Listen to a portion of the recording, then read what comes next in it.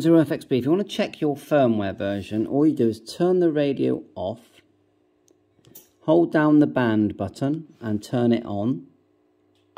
You'll get this grey screen, then hit the band button again, and it says version 3.01, which I'm pretty sure is the latest one for mine. Turn it off. Now turn the radio back on. Go into F, uh, hold down DISP, like so. Go to TXRX, which is menu 2, enter. Then go to digital, which is also menu 2, enter. And then turn it down to number, what is that, number, at the top it says DSP version. So enter that. And there's your DSP version, which is 4.15, which I'm pretty sure that's the latest as well.